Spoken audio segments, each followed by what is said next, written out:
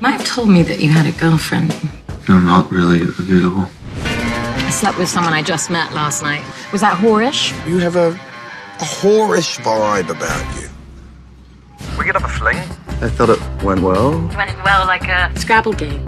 Had a one night stand. Now you're wearing his nightie. I earned it. You're not gonna get obsessed with me, are you?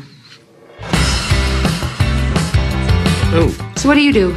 I'm a rabbi. You're kidding. If you want to reconnect with your roots, feel free to come to my congregation. Right there. Boy, the Holocaust was a terrible business, wasn't it? Terrible business. I- uh,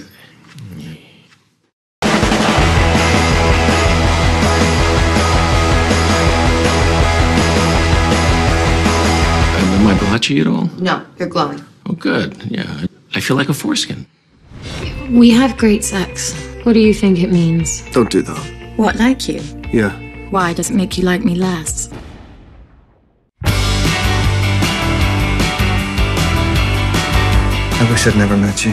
I could have put it anywhere. I could have had anyone. It's just not worth it. Come back. Are you just bathing in your bras and underwear? Killing two birds with one stone. Yeah, but then you're just stewing in your own filth. Always.